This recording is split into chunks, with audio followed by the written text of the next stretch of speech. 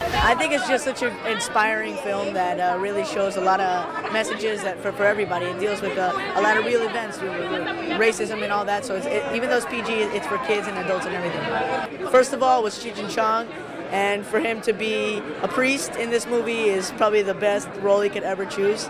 Uh, just because he could, he was the, that's probably the two complete opposites, and. Um, uh, it, it just shows how he's such a great actor. He can play two different roles. It's great. What's up, fan? I'm Moises Arias.